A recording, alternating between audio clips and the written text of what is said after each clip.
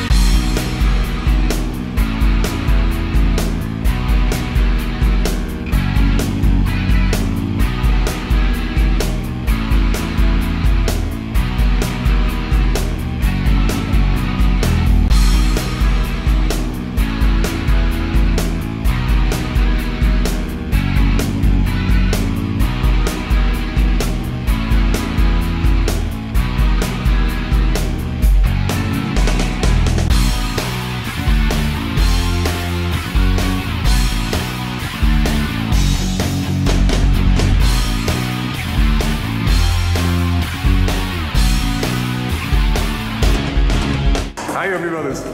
Sensationell.